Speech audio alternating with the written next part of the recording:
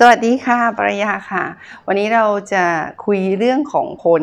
ที่มีลักษณะต่างกัน แล้วเราควรจะพัฒนาแต่ละแบบยังไงนะคะ ถ้าชอบคลิปนี้รบกวน subscribe ให้ด้วยนะคะ เรามาเริ่มคนประเภทแรกคือคนที่ฉลาด แล้วก็เฟรนลี่นะคะ ขยันขันแข็งเข้ากับคนได้ง่าย ช่างพูดช่างเจรจานะคะ มีความเป็นผู้ใหญ่มีความคิดที่ดี คนแบบนี้เนี่ย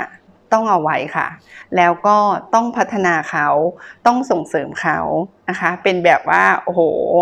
prime resource เลย resource เลยอะต้องเก็บไว้ให้ดีแล้วเราต้องพัฒนาเขา เพราะต่อไปเนี่ยเขาจะทำงานเป็นตัวแทนของเราได้นะคะแล้วก็สามารถเติบใหญ่ได้ในองค์กรนะคะ อันนี้คือคนประเภทที่ฉลาด แล้วมีบุคลิกภาพดี เป็นคนขยันเข้ากับคนอื่นได้ดี อันที่สองค่ะ ฉลาดแต่ว่า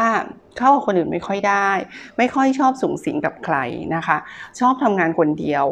ชอบคิดแต่เป็นคนฉลาดนะคะ แต่ว่าอาจจะเข้าสังคมไม่ค่อยเก่ง แบบนี้เราก็ต้องเอาไว้ค่ะ สิ่งที่เราให้เขาทำเนี่ยคนแบบนี้ก็จะเป็นคนที่เราจะต้องให้เขาเป็นคนคิดค่ะ ไม่ต้องสังคมกับคนเยอะ แต่ว่าเขาเป็นมันสมองของเรานะคะ ก็ให้เขาเป็นอยู่ในฝ่ายที่จะต้องดีไซน์ทิงกิ้งนะคะ แล้วก็คิดคิดนอกกรอบเขาจะมีความคิดสร้างสารรค์ที่ดีฉะนั้นเราจะให้เขาทำงานด้านเกี่ยวกับการใช้ความคิดเยอะๆนะคะ เป็นนักวางกลยุทธ์ ไม่ต้องไปติดต่อกับคนเยอะมากเพราะว่าเขาจะไม่ถนัดด้านนั้นนะคะ อันที่ 3 คือ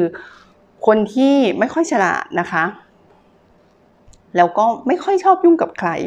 นะคะ คนประเภทนี้ก็คือไม่ค่อยฉลาดด้วย แล้วก็ไม่ค่อยสร้างสารรค์ แล้วก็ยังไม่ค่อยชอบยุ่งกับใครอีกนะคะ คนประเภทนี้เราต้องทํำยังไงคะ คนประเภทนี้เราก็จะต้องเลี้ยงไว้เหมือนกันนะคะ เราก็จะต้องให้เขาทำงานในงานที่เป็นระดับปฏิบัติการ งานที่เป็นอะไรซ้ำๆเขาก็จะทำได้ดีนะคะ คอยสังเกตเขาค่ะ แล้วก็ให้คอยให้คำแนะนำนะคะ แต่ว่าอย่าให้เขาทำงานสิ่งใหม่ ๆ มาก เพราะว่าเขาจะไม่มีความมั่นใจแล้วก็จะกลัวความผิดพลาดในขณะที่เขาเป็นคนไม่ค่อยกล้าถามด้วยนะคะ แต่ว่าเขาทำงานเดิมๆของเขาได้ดี แล้วก็เป็นคนถนัด งานที่เขาทำอยู่นะคะ ประเภทที่ 4 ค่ะ ก็คือคนที่ไม่ค่อยฉลาดเท่าไหร่ แต่ว่ามีความโซเชียลสกิลสูงนะคะ ก็คือไม่ค่อยฉลาด แต่ว่าชอบพูดคุยอชอบไปเจอคนนั้นคนนี้ คนประเภทนี้บอกตามตรงเลยค่ะว่าอันตรายนะคะ คนประเภทนี้ถ้ามีอยู่ในองค์กรเนี่ยก็เออ ไม่ค่อยดีเท่าไหร่นะคะ เพราะว่าเขาชอบยุ่งกับคนอื่น แต่ว่าตัวเองเนี่ยไม่มีความรู้มากเพียงพอ แต่ชอบอวดรู้ คนประเภทนี้เรียกว่าไปอยู่วงไหนวงเขาแตกค่ะเพราะฉะนั้นคนประเภทนี้ถ้าทางทางที่ดีเวลารับสมัครเนี่ยก็ไม่ควรรับเข้ามา แต่ถ้ารับเข้ามาแล้วนะคะ ก็ต้องพยายามจำกัดงานของเขา แล้วก็จำกัดบทบาทหน้าที่ของเขานะคะ อย่าให้เขาเนี่ยไปก้าวไก่หรือว่า ไปยุ่งกับหน่วยงานของคนอื่นเขา เพราะว่าเขาจะแสดงความคิดเห็นที่ไม่ค่อยสร้างสรรค์แล้วทำให้งานมันวุ่นวาย การทำงานเป็นทีมถ้ามีคนประเภทนี้เข้าไปเนี่ยนะคะ ก็ไม่ค่อยเหมาะเท่าไหร่นะคะ ประเภทที่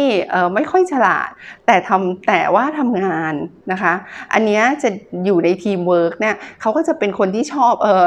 สั่งมาเหอะเขาก็จะทำนะคะ แต่พวกที่ไม่ค่อยฉลาด แล้วก็อวดรู้ชอบไปสอดรู้สอดเห็นคนอื่นเขาแบบนี้น่าร่วมงานด้วย เพราะฉะนั้นถ้ามีโอกาสที่จะสัมภาษณ์คัดเลือกเนี่ยบุคคลกลุ่มนี้ก็ไม่ควรที่จะรับเขามาทำงานนะคะ อันนี้ฝากไว้เป็นแนวทางสำหรับการดูคนแล้วการแบ่งงานคนแต่ละประเภทนะคะ ขอบคุณสำหรับการติดตามแล้วฝากกด subscribe ให้ด้วย ขอบคุณมากนะคะ แล้วเดี๋ยวเจอกันใหม่เนาะสวัสดีค่ะ